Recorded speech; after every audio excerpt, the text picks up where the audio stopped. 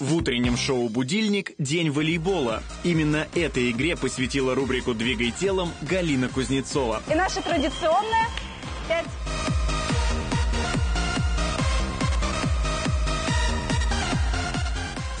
А Антон Пальчиков выяснил, верят ли жители города, что волейболистка Анна Сотникова – одна из самых высоких липчанок. Какой у нее при таком росте размер ноги? 44-45.